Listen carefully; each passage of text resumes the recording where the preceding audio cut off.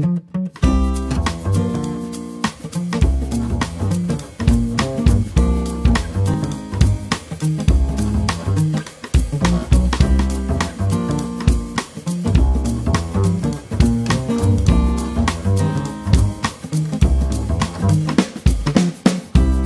know, uh, they're talking about a revolution. No matter what the people say. When I think of all the implications, uh, I feel sad and torn and cast away. But I wake up every morning like I always do, full of hope and a smile on my face until I turn on the TV. And that's when I tell myself, wow, this could have been a brighter day. But I'm not gonna let them take my joy and run away.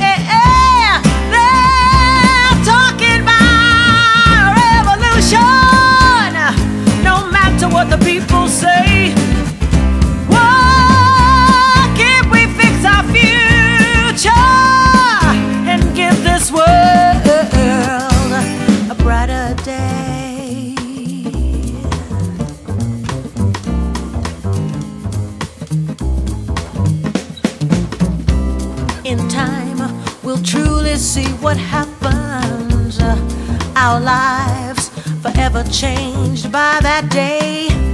Now there's brother killing their brother in a land that is not so far away. No more people trusting people. It shouldn't be that way. But yet, it seems that we're only getting in each other's way. Why does it have to be that way? It's so unnecessary. Seems there's a new world order taken over by the day. Ah. They're talking about a revolution. No matter what the people say. Why can't we fix our future and give this world a brighter day?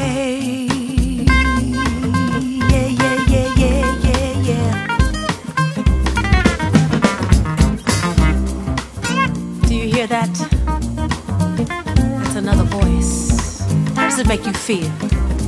Hmm. The word revolution comes from the verb revolt. We all know it.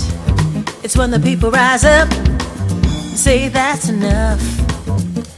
They get tired of the same old thing, feeling bad, negativity everywhere, fear being instilled in the young and the old. The masses have power throughout history of mankind. Change has come through large numbers of people and energy coming together and saying that's enough. Our babies stand to inherit this world. We gotta make sure that it's in their best interest. That's all right. Don't be afraid.